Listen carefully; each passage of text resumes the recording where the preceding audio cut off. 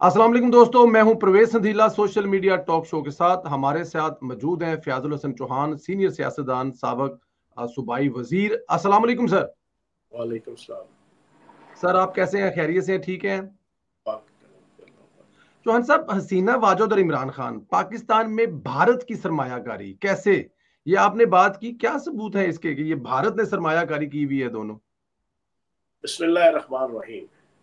اچھا میں پرسوں جب انقلاب بنگلہ دیش ہوا، سکوتر ڈھاکہ ٹو ہوا، تو میں تقریباً کوئی تین بجے سے لے کے رات کے نو بجے تک میں انڈین چینلز جو ہے نا، وہ دیکھتا رہا، مختلف قسم کے ان کے چینلز اور ایک بات تو آپ کو بھی پتہ ہے، آپ میڈیا پرسن ہیں کہ انڈیا کا جو میڈیا ہے، وہ تقریباً ننانوے اشاریہ ننانوے پرسنٹ جناب انڈین را کا سپانسرڈ بھی ہوتا ہے اور ان کی دی ہوئی لائن کے اوپر چلتا ہے۔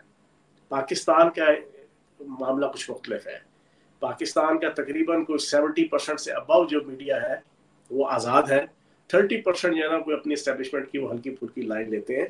لیکن انڈیا کا تو تقریباً ہنڈریڈ پرسنٹ۔ اچھا ان کا جو میڈیا تھا، وہ مسلسل جو کوریج دے رہا تھا اور جو تھیم دے رہا تھا اس پورے ریولوشن کی اور انقلاب کی، وہ یہ تھی کہ انڈیا کی بدقسمتی ہے کہ انڈیا کا اس خطے کے اندر کنٹرول دن بدن ختم ہوتا جا رہا ہے۔ اور انہوں نے کہا کہ دیکھیں، بھوٹان ہمارے ہاتھ سے نکل گیا، نیپال ہمارے ہاتھ سے نکل گیا، سری لنکا ہمارے ہاتھ سے نکل گیا، افغانستان ہمارے ہاتھ سے نکل گیا، چائنا ہمارا دشمن ہے، انڈیا، پاکستان ہمارا دشمن ہے۔ دو ہماری جناب انسٹالیشنز تھیں پولیٹیکل ایک حکومت کی صورت میں اور ایک شخصیت کی صورت میں۔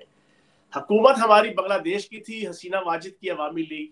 وہ ہماری، ہم ان کو لک آفٹر کرتے تھے اور وہ ہماری پالیسیز کو اور ہمارے مفادات کو لک آفٹر کرتے تھے۔ دوسرا، انہوں نے کہا کہ بانی تحریک انصاف کی صورت میں جو تحریک فساد فی الارض ڈھائی سال سے پاکستان میں چل رہی تھی، انہوں نے کہا جی وہ ہمارے مفادات کی نگہداشت کر رہی تھی۔ وہ ہمارے مفادات کو لک آفٹر کر رہی تھی۔ مطلب ان کے بقول جو ان کے میڈیا کا جو پورا کنکلوژن تھا، ان کے تجزیہ نگاروں کا، ان کے اینکرز کا، ان کے جناب بیٹ رپورٹرز کا وہ یہ تھا کہ بدقسمتی سے وہ دونوں Indian installations Indian puppets Indian کٹ پتلیاں یا انڈین مفادات کو لک آفٹر کرنے والی جنا حکومت اور شخصیت اور تحریک وہ بدقسمتی سے اس خطے میں وہ بھی ناکام ہو گئی۔ ہے حسینہ واجد بھی ناکام ہو گئی اس کی عوامی لیگ بھی اس کی حکومت بھی اور تحریک فساد فی الارض جو بانی تحریک انصاف کی قیادت پہ ڈھائی سال سے چل رہی ہے اب ان کا مفاد کیا ہے انڈیا کے اس میں؟ انڈیا کا مفاد اس میں یہ تھا کہ پاکستان دن بدن کمزور ہو رہا تھا۔ اس تحریک فساد الارض کی وجہ سے۔ پاکستان دن بدن معاشی طور پہ معاشرتی طور پہ اخلاقی طور پہ تباہی و بربادی کی طرف جا رہا ہے۔ اور انڈیا تو پہلے دن سے یہ چاہتا ہے۔ انیس سو سینتالیس کو جب پاکستان کی تخلیق ہوئی چودہ اگست کو انہوں نے تو پرڈکٹ کر دیا تھا۔ جواہر لال نہرو سے لے کے گاندھی سے لے کے اور ان کی اسٹیبلشمنٹ نے کہ چھ مہینے سے زیادہ پاکستان نہیں چلنے والا۔ ہم نے تاریخ میں بھی پڑھا اور یہ حقیقت بھی ہے۔ تو ان کی پرڈکشنز یہ چلتی رہی اب ان کے ذہن میں یہ تھا کہ یہ تحریک فساد فی الارض کامیاب ہوگی، خونی انقلاب آئے گا، جیسے وہ ان کے ترجمان روف حسن نے وہاں پر انڈیا کا جو ان کے ساتھ لنک تھا، جس صحافی کے ساتھ، اس کو یہ میسج دیا کہ بھائی آپ پیغام رہے بس کچھ ہی دنوں تک پاکستان میں خونی انقلاب آ رہا ہے۔ تو خونی انقلاب کے بعد کیا ہونا تھا؟ پاکستان کی تباہی بربادی ہونی تھی، لیکن وہ ناکام ہو گیا۔ اللہ پاک کے فضل و کرم سے، نبی پاک کے صدقے۔ تو انہوں نے بنگلہ دیش کے سکوتے ڈھاکہ ٹو کو تبصرہ کرتے ہوئے ان ساروں کا اتفاق تھا کہ انڈیا ناکام اور نامراد ہو گیا بنگلہ دیش میں بھی اور پاکستان میں بالکل ٹھیک ہو گیا۔ اب ذرا یہ بتائیں کہ عمران خان اور حسینہ واجد میں کوئی آپس میں خصوصیات پائی جاتی ہیں اور پی ٹی آئی کا سوشل میڈیا کہہ رہا ہے کہ پاکستان میں بھی وہی ہونے جا رہا ہے جو ہندوستان میں آیا کیونکہ پاکستانی گورنمنٹ میں بھی وہی حالات پیدا کر رکھے ہیں جو حسینہ واجد نے وہاں اپنی اپوزیشن کے لیے پیدا کر رکھے تھے۔ کیا یہ بات درست ہے؟ زمین آسمان کا سندھیلا صاحب فرق ہے۔ وہاں کی صورتحال ذرا پہلے تو اپنے ذہن میں رکھ لیں کہ ترپن چون سال پہلے جو اسکول کا ہوا آپ کے اس پروگرام کے ذریعے سے جو جو بھی آپ کے ناظرین ہیں میں انہیں بتانا اور سمجھانا چاہوں گا کہ شیخ مجیب الرحمان کو بالکل اسی طرح انڈین سپانسرشپ حاصل تھی انڈین اسٹیبلشمنٹ کی انڈین را کی انڈین حکومت کی فرام ڈے فرسٹ سے۔ اور انیس سو بہتر پہ جب آپ کا بنگلہ دیش بن گیا، اس کے بعد پہلا دورہ فوری طور پہ شیخ مجیب الرحمان نے انڈیا کا کیا۔ تو کلکتہ کے ایک حال میں مشہور و معروف حال ہے، وہاں کا، وہاں پہ تقریر کرتے ہوئے اس نے پوری آڈینس کو یہ کہا اور سٹیج کے اوپر انڈیا کا کوئی سرکاری بڑا سینئر عہدیدار بیٹھا ہوا تھا، کوئی صدر تھا یا نائب صدر تھا یا کوئی وزیر اعظم تھا یا ڈپٹی وزیر اعظم تھا، اس کو مخاطب کرتے ہوئے اس نے کہا کہ جناب والا، میرا انیس سو ستاون سے یہ میرا فیصلہ بھی تھا، میری پلاننگ بھی تھی اور میری اسٹریٹجی بھی تھی کہ ہم نے بنگلہ دیش بنانا ہے اور پاکستان کو توڑنا ہے۔ تو پاکستان بننے کے فوراً بعد انڈین اسٹیبلشمنٹ نے شیخ مجیب الرحمان کے اوپر ہاتھ رکھا اور اس کے ذریعے سے بنگالیوں کے دنوں میں پاکستان کا اور پاک فوج کی نفرت ڈالی۔ ایگزیکٹلی exactly وہی اسٹریٹجی پچھلے ڈھائی سالوں سے شیخ مجیب الرحمان ٹو بانی تحریک انصاف کے ذریعے سے انڈین اسٹیبلشمنٹ اسرائیلی موساد اور عالمی طاقتوں کی ایجنسیاں عالمی طاقتوں کی جو ڈیپ سٹیٹس ہیں، وہ مل کے پاکستان کو ڈی سٹیبلائز کرنے کے لیے اور پاکستان کو فیوچر کے اندر جغرافیائی حوالے سے، دباؤ برباد کرنے کے حوالے سے انہوں نے اس بانی تحریک انصاف کے اوپر ہاتھ رکھا ہوا تھا اور اس تحریک فساد فی الارض کے اوپر ہاتھ رکھا ہوا تھا۔ اب یہ ساری چیزیں پچھلے ڈیڑھ سال سے مجھ سمیت آپ بھی اور باقی سارے دوست بھی وہ چیخ چیخ کے پاکستان کی عوام کو بتا رہے ہیں اور بتانے کی ضرورت بھی نہیں ہے۔ اسرائیل ننگا ہو کے ان کی سپورٹ پہ آیا ہوا ہے۔ انڈیا ننگا ہو کے ان کی سپورٹ پہ آیا ہوا ہے۔ امریکن حکومت، اسٹیبلشمنٹ، ان کی جناب ڈیپ سٹیٹس، ان کی جناب آپ کی اپوزیشن، ان کا میڈیا ننگا ہو کے جناب ان کی سپورٹ پہ آیا ہوا ہے۔ برطانیہ، کینیڈا، یورپ تمام وہ ممالک کے جو پاکستان کے حوالے سے خار رکھتے ہیں، نیٹو فورسز کا وہ جو غم اور غصہ کہ جو پندرہ اگست دو ہزار اکیس کو یہاں سے بھاگے تھے انقلاب افغانستان کے بعد، اس کا غم اور غصہ جس جس ملک کو بھی ہے اور انڈیا کو تو پہلے دن سے ہے۔ تو یہ پورے کا پورا دوبارہ وہی ایپیسوڈ شیخ مجیب الرحمان والی دہرائی جا رہی تھی، لیکن اللہ پاک کی ذات بڑی ہے۔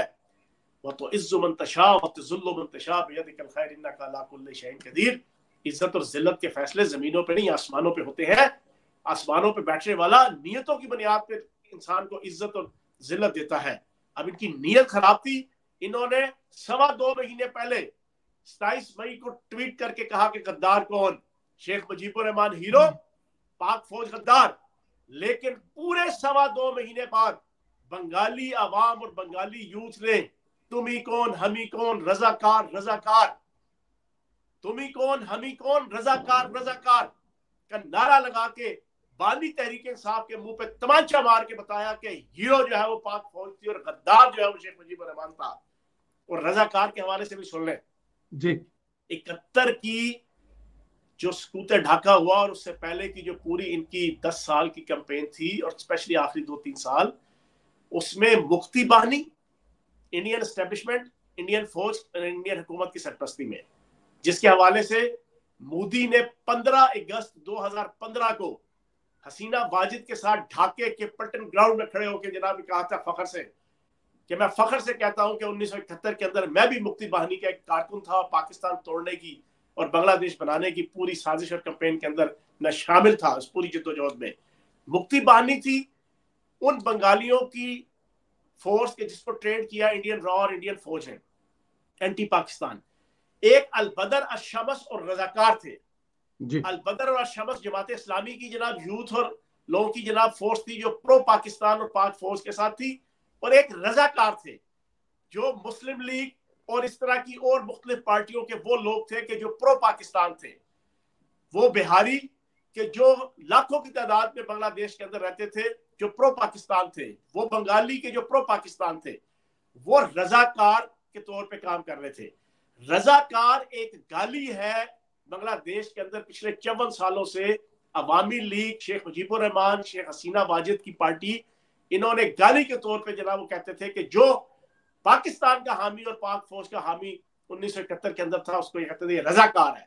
لیکن آج بانی تحریک انصاف کی سیاست کے منہ پہ تماچا مار کے اور شیخ مجیب الرحمان کو ہیرو قرار دینے والوں کے منہ پہ تھپڑ مار کے اور ان کے منہ کو اور ان کے تشریف کو کالا کر کے بنگالی نوجوانوں نے کہا کہ تم ہی کون ہم ہی کون رضاکار رضاکار کہ ہم پاکستانی ہیں ہم پاک فوج سے محبت کرنے والے ہیں۔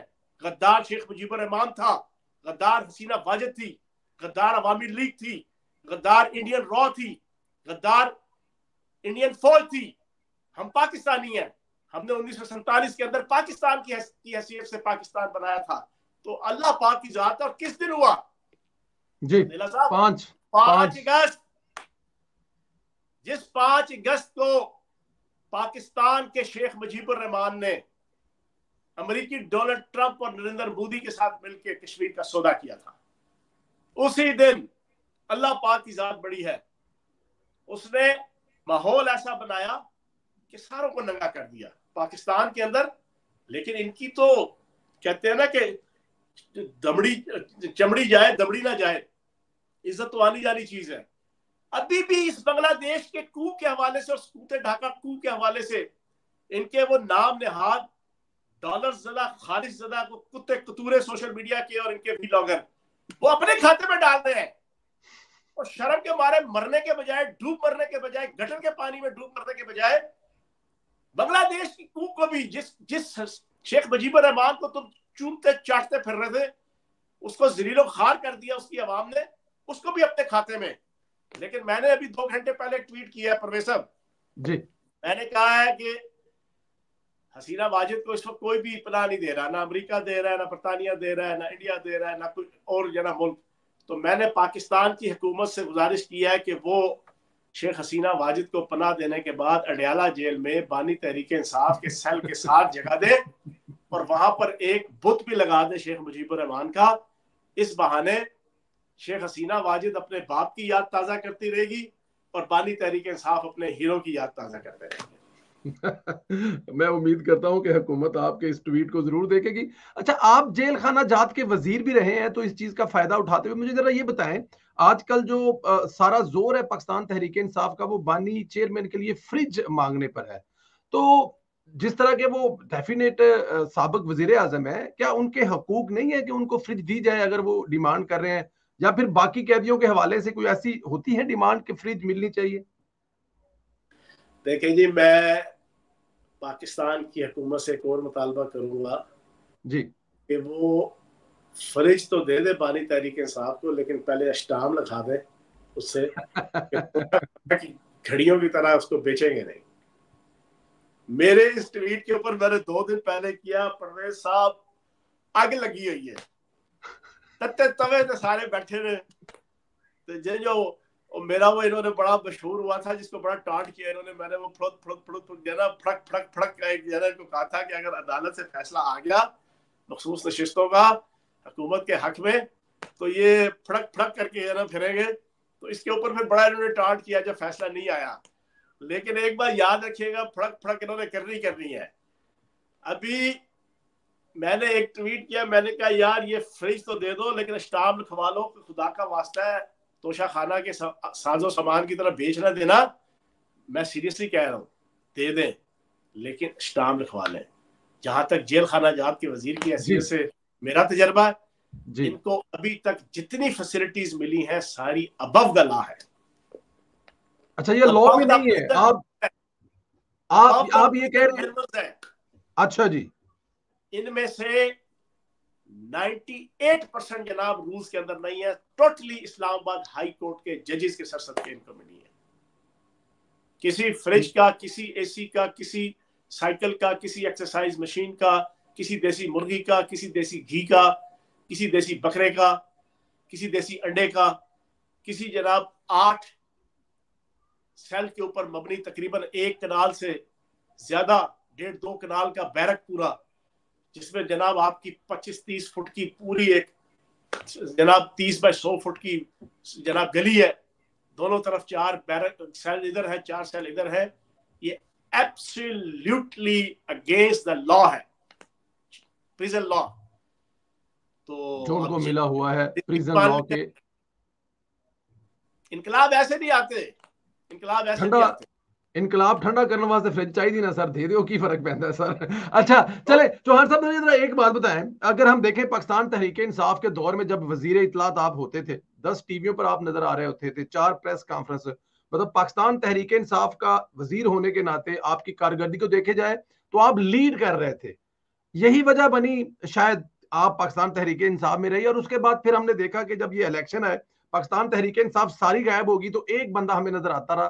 اس کا نام شیر افضل مروت تھا، جس نے وہ کہتے ہیں کہ مردہ گھوڑے میں جان ڈالی وٹ ایور جو جو بھی ہے۔ ان کے ساتھ بھی یہی ہوا ہے کہ وہ پارٹی سے نکال دی کہ کیا وجہ کیا ہے کہ جو پارٹی میں بولنے والا، کام کرنے والا جگہ نہیں ہے اس کی پارٹی میں۔ شیخ، شیر افضل مروت کے ساتھ زیادتی ہوئی ہے۔ وہ، میں اپنا ستارہ سال کا تجربہ پی ٹی آئی کا ایک نچوڑ کے طور پہ اکثر پیش کرتا ہوں کہ بانی تحریک انصاف جب بھی کسی کو ایک عہدہ دیتے ہیں نا تو تین کتے ان کے پیچھے لگا دیتے ہیں۔ عہدہ ایک دیتے ہیں، کتے تین پیچھے لگاتے ہیں۔ یہ فرم ڈے فرسٹ ان کا سٹائل ہے۔ مطلب ہے کوئی مرکزی صوبائی لیول کے یا نا کوئی عہدے دار سینئر سے نا اس کے پیچھے لگا دیں گے کہ اب تم نے اس کے پیچھے لگے رہنا ہے۔ اس کی مٹی پلیت کرتے رہنا ہے۔ پارٹی کے اندر بھی اس کے خلاف لابنگ عہدہ بھی دیں گے۔ اس کو گندا کرنے کے لیے تین کتے بھی پیچھے چھوڑ دیں گے۔ اور لیکن شیر افضل مروت بیچارے کا کیا کہہ رہے جا رہا اس کی اپنی زبان اس کے کنٹرول میں نہیں تھی۔ اس کو سمجھ نہیں تھی بیچارے کی ٹوٹل ڈیڑھ سال عمر ہے سیاست کی پی ٹی آئی کی بھی ڈیڑھ سال سے بھی کم سوا سال کی ہوگی۔ وہ بیچارہ نہیں سمجھ سکا۔ بانی تحریک انصاف کے اور اس پارٹی کے باقی مزاج اور طبیعت کو تو زیادتی ہوئی ہے اس بیچارے کے ساتھ۔ اس طرح کے ابھی اور شیر افضل مروت ابھی اگلا شیر افضل مروت میرے خیال میں اسد کیسر ہوگا۔ اچھا جی اسد کیسر اسد کیسر سب اگلے شیر افضل ہوں گے؟ اگلے شیر افضل مروت ہوں گے۔ حماد اظہر نے بڑک ماری اور اس میاں اسلم نے جی۔ دنیا جہان کے بزدل آدمی دونوں۔ دنیا جہان کے۔ سوا سال ہو گیا ہے گھر سے باہر نہیں نکلے چھپ کے بیٹھے ہوئے ہیں۔ اور ادھر جا کے ہیرو بن کے سوابی کے جلسے میں کہتے ہیں سپتمبر میں لانگ مارچ کریں گے۔ جیب میں نہیں ہے ڈھیلا دیکھنے چلے ہیں ملا۔ پلے کوئی اوقات کوئی نہیں۔ اور بھائی تم باہر آنے جھوگے ہے نہیں۔ سوا سال سے جنا تمہیں موشن لگے ہوئے ہیں، بزدلی کے، خوف کے۔ اور تم کہتے ہو لانگ مارچ کریں گے ستمبر میں۔ دونوں تقریر کر کے اٹھے ساتھ ہی اثر کیسے رہا اس نے کہا، کوئی لانگ مارچ مارچ کوئی نہیں ہے۔ ایوی اپنی طرف سے ہی۔ رات کو شاہزیب خان زادہ کے ساتھ پروگرام میں اس نے سارا نل اینڈ وائٹ کر دیا۔ اور پھر یہ سوابی میں جلسہ کیا۔ بانی تحریک صاحب نے کہا تھا، ڈی چوک میں کرو، پنڈی میں کرو۔ انہوں نے وہ چھوڑ کے جا کے کونے خدرے میں جا کے گھس گئے۔ تو بھائی اگلا شیر افضل مرمت جو ہے نا وہ اسد کیسا ہوگا۔ آپ آپ سپٹمبر میں اگر عمران خان صاحب باہر نہیں آئے تو حماد اظہر کی اور میاں اسلم صاحب کی جو ان کی جو دھمکی ہے اس کو بالکل لائٹ لے رہے ہیں کہ ایسا کچھ نہیں ہونے والا کوئی انقلاب نہیں کوئی بدی کا شوربہ ساروں کے معاملات ایسے ہیں۔ سندیلا صاحب میں منافق آدمی نہیں ہوں مجھ سے منافقت نہیں ہوتی۔ میں جدھر کھڑا ہوں نا جس کیمپ میں اللہ پاک کے فضل و کرم سے نبی پاک کے صدقے حق چار یار کے صدقے مولا علی کے صدقے۔ شہید کربلا، حسین ابن علی علیہ السلام کے صدقے۔ میں اس کھڑا ہوتا ہوں وہیں پہ۔ میرا دل، دماغ، زبان، ہر چیز اس اس کیمپ کے ساتھ ہوتی ہے۔ یہ سارے کے سارے منافق ہیں۔ انہوں نے تمام، جس جس کا نام بولو گے نا، وزیر اعلیٰ ہے، صوبائی گزرا ہے، وفاقی M N A, M P A ہے پنجاب کے اندر ہے سندھ کے اندر ہے ninety nine point nine percent establishment کے ساتھ اپنے معاملات طے کیے ہوئے انہوں نے نائنٹی نائن پرسینٹ سب نے ادھر آ کے تھوک سے کوڑے تلتے ہیں نعرے مارتے ہیں پڑکے مارتے ہیں یہ کر دیں گے اور اس بیچارے کا بھی قصور کوئی نہیں ہے بانی تحریک انصاف کو بھی جو ہے نا اس قسم کی گالی گلوچ اور پڑکے مارنے والے تو وہ پسند کر رہا ہے اس وقت وہ وہ اسی بھی خوش ہو جاتا ہے وہ گڑا پور کہتا ہے باڑھ کے رکھ دیں گے ہم اسلام آباد تباہ کر دیں گے ہم حکومت کو دریائے سندھ میں پھینک دیں گے۔ وہ خوش۔ او بھائی کرنا والا کام کرو۔ بنگلہ دیش کے اس کارکن نے سینے پہ اس طرح گولی کھائی ایک دفعہ کھائی پھر کھڑا رہا دوسری دفعہ کھائی پھر کھڑا رہا۔ ذوالفقار علی بھٹو کے پیچھے کئی لوگوں نے خودکشیاں کی تھی جی۔ اور میرا ایک دوست ہے کالج کا میرا ایک گروپ ہے جو ہے نا اس میں اس کو بھی بہت زیادہ کیڑا ہے جو ہے نا تحریک انصاف کا۔ اس نے بہت زیادہ کڑکڑ کر رہا تھا، ایک دن میں نے اس کو کہا، میں کیا ہوتا ہے انی کڑکڑ ہے گی ہے نا، آ آ کے جناب لیاقت باغ چوک چ آ کے نا، مٹی دا تیل اپنے اوپر چھڑک جانا، پانی تحریک انصاف دے پیچھے، پھر میں تن مننا گا، تیری محبت دا۔ میں اس سارے تحریک انصاف کے سوشل میڈیا کے ان کتوں کتوروں کو، اور یہ جو نام نے ان کے لیڈر بنے ہیں، یہ جو آ کے کہتے ہیں نا کہ ہم مر جائیں گے، ہم فلاں کر دیں گے ہم بانی تحریک انصاف کے کلٹ میں اور نوز باللہ معاذ اللہ اس کو ولی غوث کتب کلندر اور پیغمبر نوز باللہ معاذ اللہ کا درجہ دیتے ہیں۔ ان سے میں کہوں گا یار آؤ آ کے جناب تو خودکشی تو کرو نا اس بانی تحریک انصاف کے پیچھے۔ بھٹو کے پیچھے تو لوگوں نے کی تھی۔ تم بھی کرو۔ کرو۔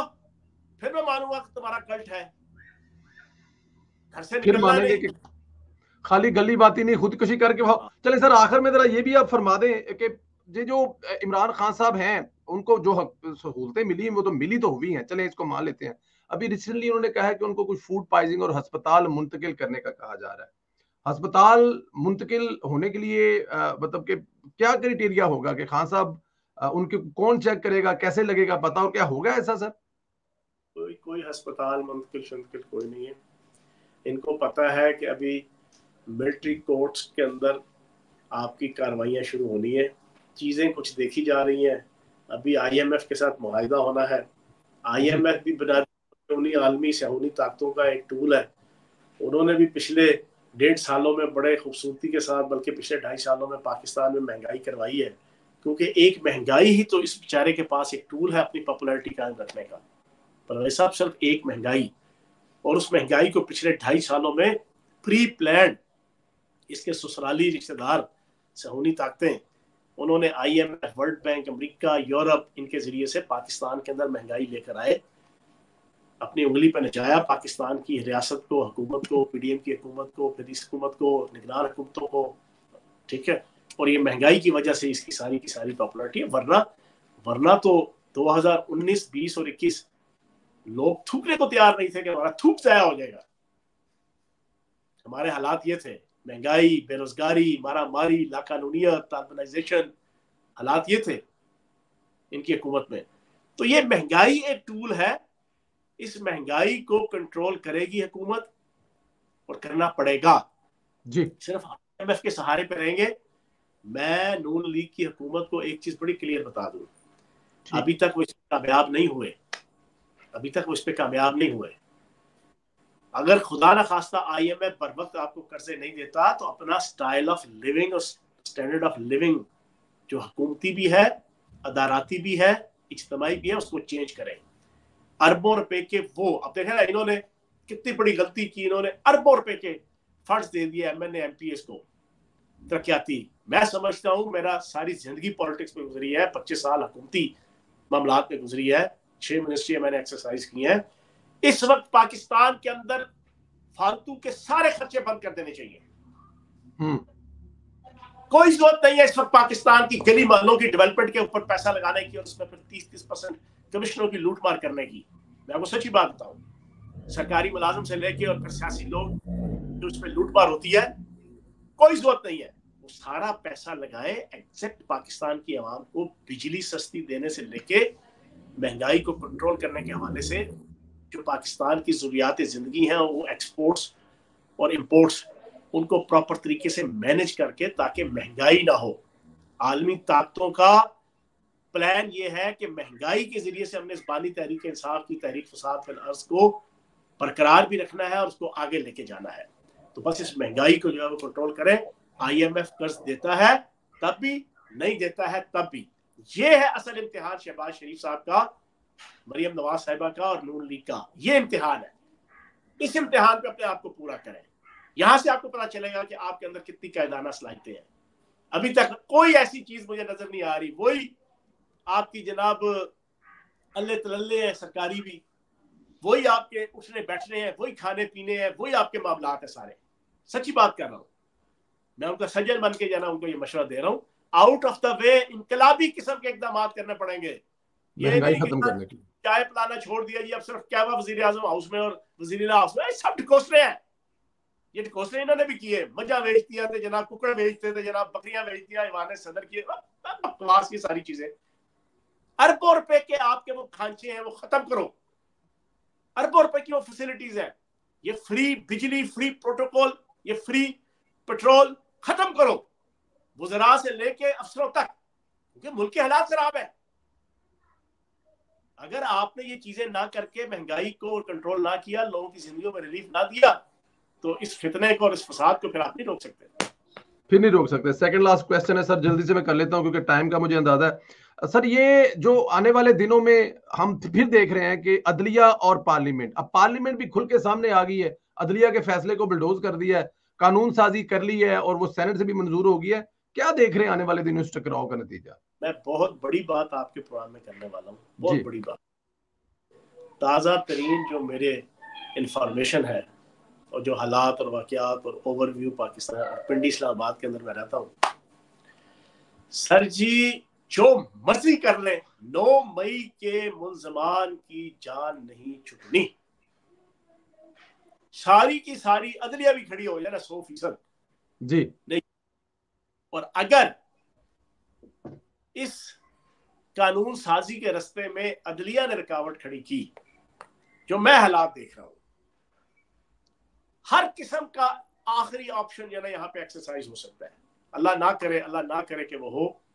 ایک سیاسی کارکن، ایک سیاسی لیڈر کی حیثیت سے جو میں پاکستان کے حالات دیکھ رہا ہوں۔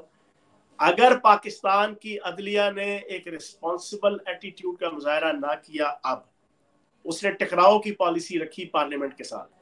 پارلیمنٹ کے بنائے ہوئے وہ قوانین کے جو ہنڈریڈ پرسینٹ لیگل ہے جو ابھی دو دنوں میں، تین دنوں میں بنے ہیں۔ ہنڈریڈ پرسینٹ ان میں کوئی انلیگیلٹی نہیں ہے۔ ان میں کوئی غیر اخلاقیت نہیں ہے۔ جو لوگ کہتے ہیں کہ تشریح کرنا فائنل ذمہ داری، وہ دنیا کے الو کے پٹھے ہیں۔ دنیا جہاں کے الو کے پٹھے ہیں۔ چاہے وہ جتنا مرضی سینئر اینکر ہے، تجزیہ نگار ہے یا کوئی وکیل ہے۔ ابے الو کے پٹھو تشریح اس چیز کی کی جاتی ہے جو سمجھ میں نہ آئے۔ سپریم کورٹ کا رائٹ حاصل ہے تشریح کرنے کا، لیکن آئین کی وہ شکیں کہ جو پارلیمنٹ بنائے اور بنانے کے بعد وہ شکیں دوسری شکوں کے ساتھ کنٹرڈکٹ ہو رہی ہوں، کنفلکشن آ رہا ہو اور سمجھ سے باہر ہو معاملات مملکت امور مملکت چلانے کے حوالے سے وہ جو نیا قانون بنا ہے، وہ ارباب بست و کشاد کو، حکومت کو اسٹیبلشمنٹ کو سول اسٹیبلشمنٹ کو سمجھنا آ رہا ہو کہ یار یہ کس طریقے سے امپلیمنٹ کریں، کیونکہ آئین کی اس شک سے آئین کی فلاں شک ٹکرا رہی ہے۔ آئین کی اس شک سے قانون کی فلاں شک ٹکرا رہی ہے۔ پھر تشریح کرنے کی ضرورت ہوتی ہے۔ پرویز ضلع صاحب، یہ جو ٹکے ٹکے آگے یہاں پہ بیٹھ جاتے ہیں پولیٹیشین اور نام یاد وکیل۔ زندگی میں کبھی انہوں نے ایک کیس نہیں لڑا ہوتا۔ زندگی میں کبھی ایک کیس نہیں جیتا ہوتا۔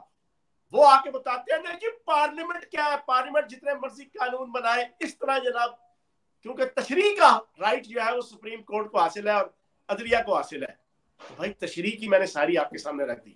جی۔ جب چیز ہی کلیئر ہے جب قانون ہی کلیئر ہے ہنڈریڈ پرسینٹ کلیئر ہے۔ اینٹی کسی اور آئین کی شک کے ساتھ اینٹی نہیں ہے، متصادم نہیں ہے، ٹکراؤ نہیں ہے۔ اس کی کون سی تشریح ہے؟ بتایا نا، اس کی کون سی تشریح ہے؟ اس کی کوئی تشریح نہیں ہے۔ جو قرارداد مقاصد سے لے کے آئین کی کسی شک کے ساتھ متصادم نہیں ہے، اس کی کوئی تشریح کی ضرورت نہیں ہوتی۔ وہ پارلیمنٹ کا اول اور آخر رائٹ ہے۔ اس قانون اور اس آئین کی جناب بنانے کا آخری سوال ہے۔ شارٹ سوال یہ کہ آپ کس دور میں کالج دور کے یونین رہے صدر رہے یا آپ نے خدمات کی؟ وہ کون سا دور تھا؟ میں یونین کا صدر ہم کنگ میکر تھے ہم نے آخری الیکشن ایٹی نائن کا۔ ایٹی نائن بینزی بھٹو صاحبہ کے دور میں نو مارچ کو آخری الیکشن یونین کا ہوا تھا۔ میری ذمہ داری تھی گارڈن کالج کی اسلامی جمعیت طلبہ کی طرف سے میں اس کا شہر لیول کا لیڈر تھا۔ کہ اس کا الیکشن جناب میری ذمہ داری تھی۔ وہ الیکشن ہم نے پورا یونین کا جتایا تھا۔ اور پھر میں نے ایٹی ون ایٹی ٹو اور eighty three eighty two eighty two تک ایٹی ون اور ایٹی ٹو میں دو یونین کے الیکشن ہوئے۔ میں سکس اور سیونتھ کلاس میں پڑھتا تھا۔ اور ساتھ ہی ہمارے گورنمنٹ جامعہ ہائی اسکول کے ساتھ پنڈی میں گورنمنٹ حشمت اسلامیہ کالج ساتھ بالکل جڑے ہوئے تھے۔ میں چھٹی جماعت کا اسٹوڈنٹ اور ساتویں جماعت کا اسٹوڈنٹ کالج کے لڑکوں کو جا کے اسلامی جمع طلبہ کے کارکنان کو بتاتا تھا کہ نعرے یہ لگانے ہیں، فلاں یہ کرنا ہے کیوں وہ میری بڑی سسٹر تھی ڈاکٹر ہیں گائناکالوجسٹ ہیں، وہ راولپنڈی میڈیکل کالج میں اس وقت جی آر کا الیکشن لڑ رہی تھی۔ وہ ساری ڈیٹیل لے کے آتی تھی۔ انسگنیا بھی، جمعیت کے ساری ڈیٹیل نعرے، یہ، وہ۔ تو وہ سارے سن سن دیکھ دیکھ کے، اور ویسے بھی گھر میں ابو بھی سید مودودی رحمۃ اللہ علیہ کے جناب ماننے والے تھے۔ تو میں چھوٹی سی عمر میں میں نے پہلی دفعہ نائنتھ میں حوالات کاٹی ہے اسلامی جمع طلبہ کے کارکن کی حیثیت سے۔ اسلامی جمع طلبہ نائنتھ میں نائنتھ میں۔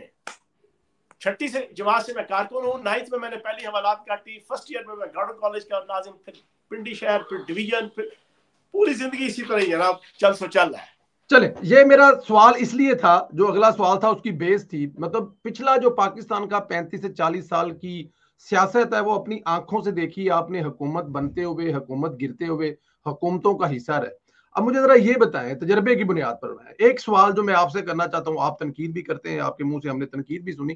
میاں محمد نواز شریف صاحب کا۔ اس پورے عرصے میں دو دفعہ کی حکومت، پھر دو ہزار تیرہ میں جو مسائل تھے، اکثر بتایا جاتے ہیں، وہ گناتے ہیں اپنی تقریروں میں، بجلی ٹھیک کی، دہشت گردی ٹھیک کی جی ڈی پی ٹھیک کی وٹ ایور جو جو۔ کیا دیکھتے ہیں، اس پاکستان کی تاریخ میں نواز شریف کا رول واقعی ایسا ہے جو وہ بتاتے ہیں آپ کی نظر میں یا اس میں کوئی آپ کچھ اچھا میں نا آج بالکل امپارشل ہو کے جی۔ دار ہو کے کسی کی عقیدت کی پٹی یا کسی پولیٹیکل پارٹی کی عقیدت کی پٹی اتار کے میں اپنی لائف کا جو پنتالیس سال کا سیاسی تجربہ جی۔ میں آپ کے سامنے رکھ دیتا ہوں۔ اور وہی تقریباً پورے کا پورا دور نواز شریف صاحب کا بھی ہے۔ ٹھیک۔ سیاست پہ آنے سے لے کے اب تک۔ میری نظروں میں پاکستان کی موجودہ لیڈرشپ میں سب سے ڈیسنٹ اگر کوئی پولیٹیشین ہے تو وہ نواز شریف صاحب ہے۔ سب سے ڈیسنٹ اور فالتو کی باتیں کرنا، فالتو کی بڑکے مارنا، پانی اور تھوک سے پکوڑے تلنا، پنجابی کہتے ہیں یبڑیاں مارنا، یاریاں باریاں مارنا وہ ان کا سٹائل نہیں ہے۔ زندگی میں ہر ایک کی خامیاں ہوتی ہیں میرے اندر بھی ہیں آپ کے اندر بھی ہیں۔ اخلاقی ہوں گی سیاسی ہوں گی انفرادی ہوں گی ہر ایک کے اندر ہے ہر ایک کے اندر۔ لیکن سیاسی نچوڑ میں آپ کو بتا دوں پاکستان کو جو فائدے دیے پاکستان کو اکنامیکلی جو بہتری کی اب یہ اب یہ جو ان کے ساتھ آخری جو کرائسس ہوا ہے جی۔ پناما والا۔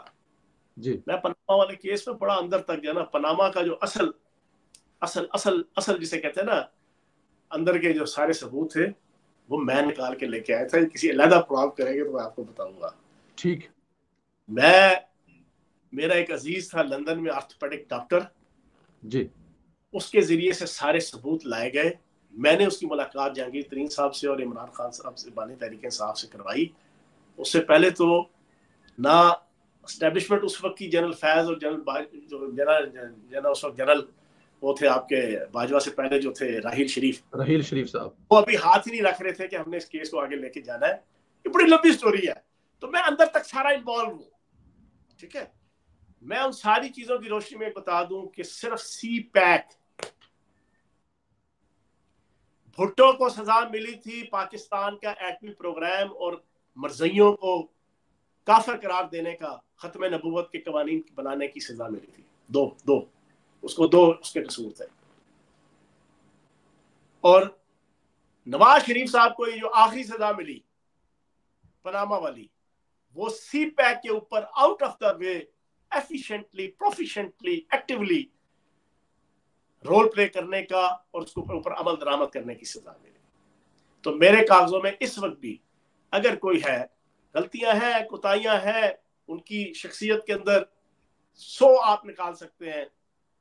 لیکن میں کم از کم موجودہ جتنی لاٹ ہے نا ان میں سینئر ترین بھی اور سب سے ڈیسنٹ پولیٹیشین جو میں نواز شریف صاحب کو سمجھتا سب سے ڈیسنٹ پڑھ سکتے ہیں بالکل ٹھیک ہے۔ اگر یہ آپ کے منہ سے ہم سن رہے ہیں اور جو دنیا بھی کہتی ہے مطلب نا۔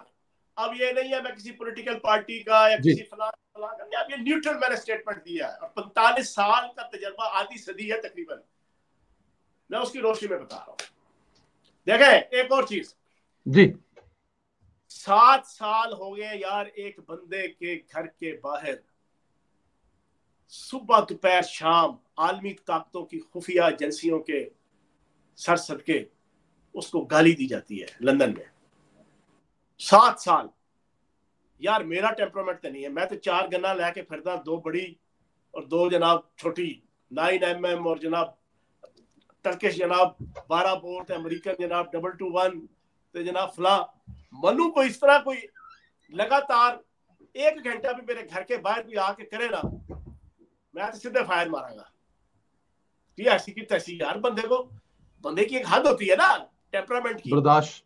یا سات سال اس بندے کو صرف سی پیک کا سی پیک کا بدلہ لینے کے لیے اس کی شخصیت کو اس کی پرسنالٹی کو اس کے گھر کو اس کے خاندان کو اس کے رہن سہن کو حرف تنقید بنایا گیا۔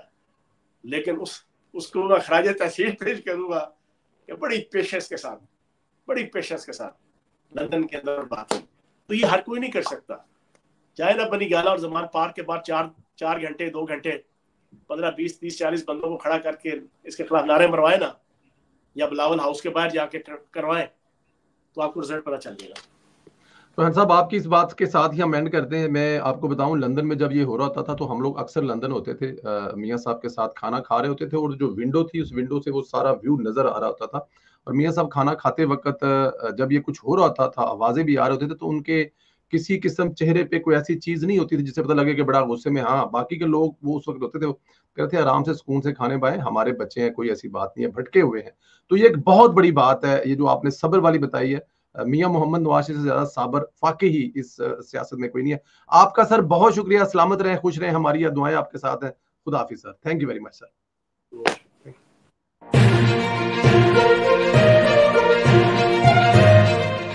اس تماشے کے چکر میں پاکستان کو جو نقصانات پہنچا دیے ہیں وہ انبیریبل ہیں۔ نواز صاحبہ